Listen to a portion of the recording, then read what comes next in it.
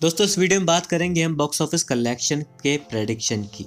सबसे पहले शाहरुख खान की फ़िल्म ज़ीरो जिसकी आज ही से एडवांस बुकिंग शुरू हो चुकी है। शाहरुख खान के करियर के लिए सबसे बड़ी फ़िल्म साबित होगी फ़िल्म ज़ीरो दोस्तों, आपको बता दें एडवांस बुकिंग और शाहरुख खान का क्रेज़ देखते हुए ऐसा लग रहा है कि पहले दिन ज़ीरो काफ़ी अच्छी कमाई करने वाली है। ऑल ओवर इंडिया से इसका पहले दिन का कलेक्शन लगभग 35 करोड़ रुपए हो सकता है, जो कि काफ़ी शानदार आंकड़ा होने वाला है। फ़िल्म शाहरुख खान की ज़ीरो संजू को भी पीछे छोड़ सकती है, जिसने पहले दिन 34 करोड़ की ओपनिंग ली थी और नॉर्थ इंडिया में इस साल की सबसे बड़ी ओपनिंग करने वाली फ़िल्म बन सकती है। शाहरुख खान के करियर के लिए भी ये फ़िल्म मील का पत्थर साबित होगी। फ़िल्म काफ़ी ज़्यादा सुर्खियों में है, अपने नए कंटेंट और शाहरुख खान के हट के लुक के कारण।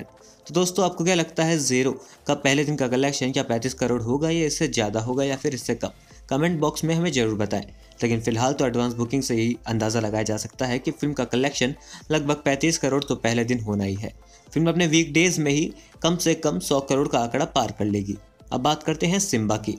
शाहरुख खान के लगभग एक सप्ताह बाद रिलीज़ होगी फ़िल्म सिम्बा। रणवीर सिंह शाहरुख खान को इससे पहले दिलवाले को बाजीराव मस्तानी से मात दे चुके हैं। और इस बार तो अजय देवगन का तड़का लेकर रणवीर सिंह पहले ही सुर्खियों में है।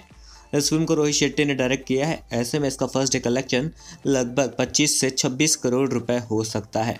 और फ़िल्म का कंटेंट दर्शकों को पसंद आया तो फ़िल्म जल्द ही 100 करोड़ का क्लब भी हासिल करेगी। हालाँकि एक प्रकार की मसाला फ़िल्म है, जिसमें आपको फुल ऑन एंटरटेन दिखने वाला है। और मसाला फ़िल्म की जनता तो काफ़ी अलग होती है। अगर फ़िल्म चली तो काफ़ी ज़्यादा हाइप भी पकड़ सकती है। देखना होगा सारा अली खान और रणवीर सिंह की जोड़ी दर्शकों को कितनी पसंद आती है। अजय देवगन और अक्षय कुमार जैसे सितारों का तड़का, क्या फ़िल्म को जल्द ही 100 और 200 करोड़ के क्लब में एंट्री करवाएगा, ये तो आने वाले दिनों में फिर पता लग जाएगा। अब बात करेंगे दोस्तों ऐसी फ़िल्म की, जो कि काफ़ी ज़्यादा अंडर लेकिन काफ़ी ज़्यादा सुर्खियों में है। फ़िल्म का नाम है Kannada film K G F Kolar gold field दोस्तों, सुपरस्टार यश की ये फ़िल्म काफ़ी ज़्यादा सुर्खियों में है अपने ट्रेलर और शानदार एक्शन को लेकर। इस फ़िल्म को किसी से कम नहीं आका जा सकता। फ़िल्म बड़े बड़े रिकॉर्ड बनाएगी, ऐसा लग रहा है। फ़िल्म पहले ही दिन लगभग 40 करोड़ का कलेक्शन ऑल ओवर इंडिया कर सकती है।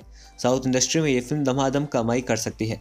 वहीं नॉर्थ इंडिया में इसका फ़र्स्ट डे कलेक्शन लगभग सात आठ करोड़ रुपए हो सकता है। जिस प्रकार से फ़िल्म सुर्खियों में चल रही है, ऐसे में तो ऐसा लगता है कि फ़िल्म बड़े बड़े रिकॉर्ड बनाएगी। हालाँकि दोस्तों, आपको बता दें, इक्कीस दिसंबर को ये फ़िल्म ज़ीरो से क्लैश करेगी। तो नॉर्थ इंडिया में इसका चलना लगभग नामुमकिन सा है। हालाँकि साउथ इंडस्ट्री में भी इसे टक्कर मिलेगी। धनुष की फ़िल्म मारी टू से और ओडियान से। तो दोस्तों, आपको क्या लगता है, इन फ़िल्मों में से कौन सी फ़िल्म बाजी मारने वाली है दिसंबर के आखिरी दिनों में? कमेंट बॉक्स में ज़रूर बताएँ। और अपने प्रोडिक्शन भी कमेंट बॉक्स में लिखें। सब्सक्राइब करें, देखो देखो, ताकि आने वाली खबर, रिव्यू, कलेक्शन की रिपोर्ट आप तक पहुँचे सबसे पहले।